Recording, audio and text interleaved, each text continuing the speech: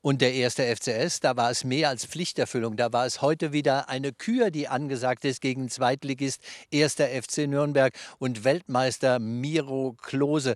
Und die Fans auf den Rängen, von ihnen sollte die entsprechende Unterstützung wie in der vergangenen Saison da sein. Sie wünschen sich nichts mehr, als mit dem FCS auf die nächste große Pokalreise zu gehen. Aber erstmal ab in den Ludwigspark mit Matthew Genet Schön.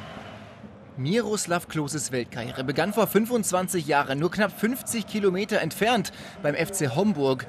Heute geht es für ihn und seinen ersten FC Nürnberg wieder ins Saarland zum Pokalschreck. Der FCS, Halbfinalist der vergangenen Saison, will auch in diesem Jahr zum bösen Schreckgespenst werden.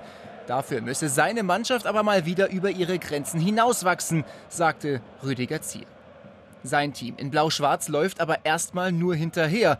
Nürnberg presst früh, erzwingt den Ballverlust von Patrick Schmidt und dann macht's der Zweitligist direkt mal schnell. Der Ball kommt zu Flick.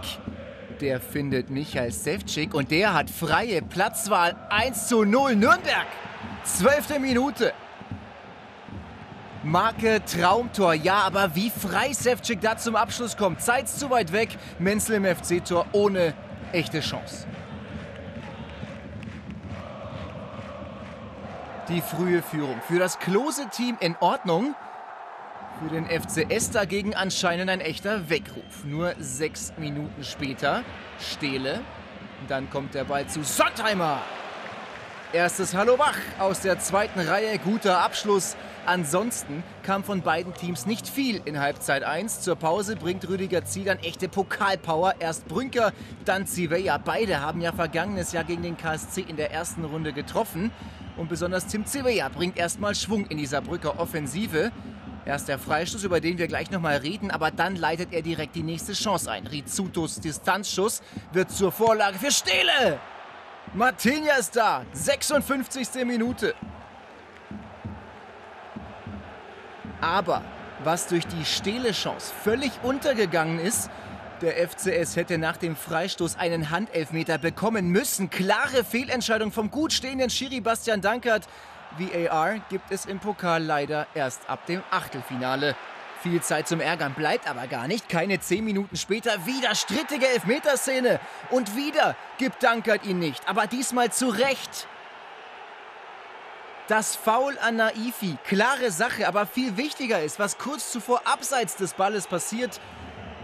Am unteren Bildrand reißt Brünker nämlich Nürnbergs Karafiat um, gut gesehen, dummes Foul, das den FCS hier knapp 20 Minuten vor Schluss den vermeintlichen Ausgleich kostet. Von Nürnberg kommt nach der Pause viel zu wenig. Und was das bedeuten kann, mussten hier in der vergangenen Saison doch schon Gladbach und die Bayern erfahren. 80. Minute, Rizzuto und dann Kai Brünker. Wahnsinn! Ups, they did it again. Kai Brünker macht aus dem Ludwigspark schon wieder eine Pokal-Wunderkiste.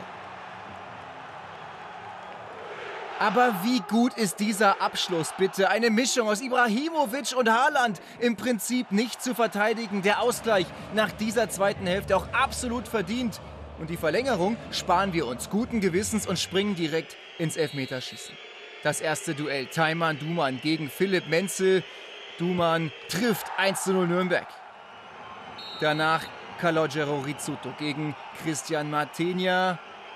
Auch er verwandelt sicher vor der Gästekurve. Nächste Runde.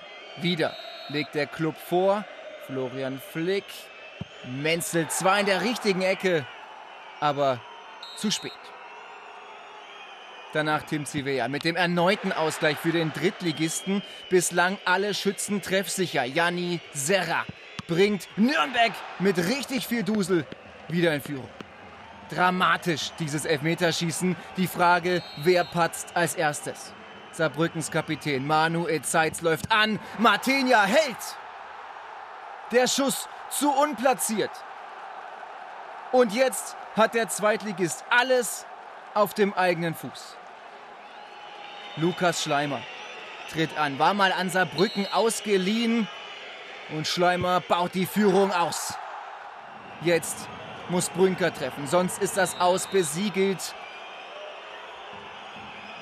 Aber Brünker bleibt cool, trocken, oben rein Und deshalb jetzt alle Augen auf Raphael Lubach. Trifft er? Ist Nürnberg weiter? Verschießt er? Geht das Everschießen weiter und die Hoffnung des FCS lebt?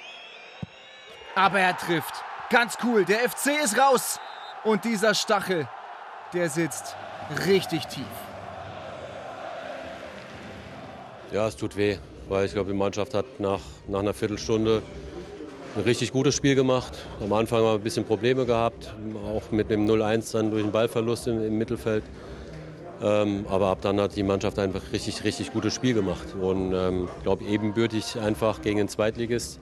Und phasenweise, finde ich, jetzt auch besser gespielt. Sich am Ende belohnt für ein großes Risiko, das wir eingegangen sind.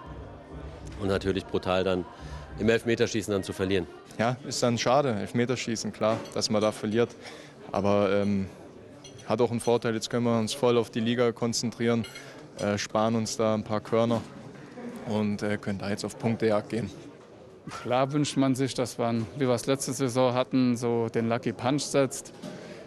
Irgendwo, aber ist uns heute nicht gelungen. Dann hätten wir es halt im Elferschießen richten müssen, aber das hat ja leider auch nicht funktioniert.